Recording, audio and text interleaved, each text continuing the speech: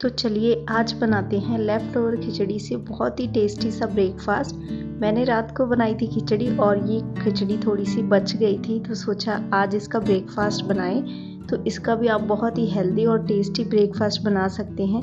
मैंने यहाँ पे लिया है एक कप गेहूँ का आटा और इसमें वन थर्ड कप मैंने बेसन मिला दिया है। बेसन डालने से ये और भी ज़्यादा हेल्दी होता है।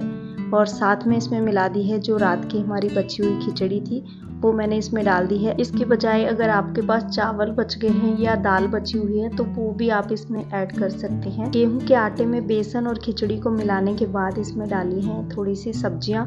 आप अपनी चॉइस के हिसाब से सब्जियों को डाल सकते हैं। मैंने यहाँ पे हरी मिर्च डाली है, कटा हुआ प्याज डाल दिया है थोड़ा सा हरा धनिया डाला है। टेस्ट को इन्हांस करने के लिए मैंने डाले हैं यहाँ पे मसाले, जैसे कि जीरा, हल्दी, धनिया पाउडर डाल दिया है।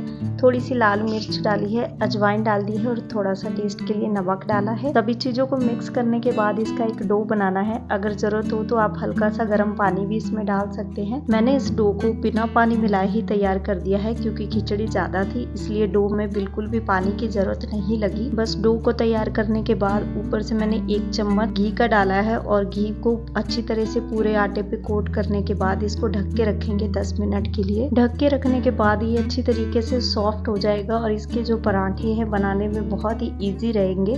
तो इसलिए मैंने इसको 10 मिनट के लिए ढक के रख दिया है। 10 मिनट के बाद इस आटे की हमें लोई बनानी है और जिस तरह से हम चपाती बनाते हैं, बस वैसे ही चपाती बना के इसके पराठे सेक लेंगे।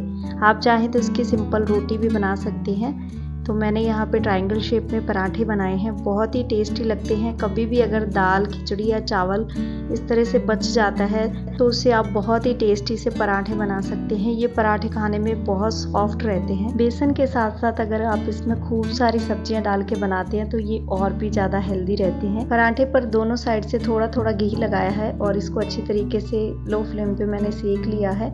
आप चाहें तो इस पर बटर या ऑयल भी लगा सकते हैं। ये पराठे खाने में बहुत ही ज़्यादा टेस्टी बने थे और साथ में बहुत ही ज़्यादा सॉफ्ट भी थे।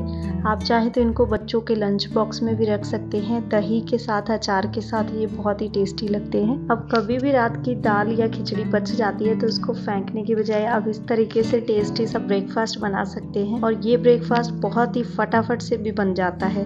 तो अगर आपको मेरी वीडियो अच्छी लगती है तो प्लीज़ इसको लाइक और शेयर ज़रूर करें। और अगर चैनल को सब्सक्राइब नहीं किया है तो प्लीज़ चैनल को भी सब्सक्राइब करें। मिलते हैं मेरी नेक्स्ट वीडियो में तब तक के लिए okay bye and take care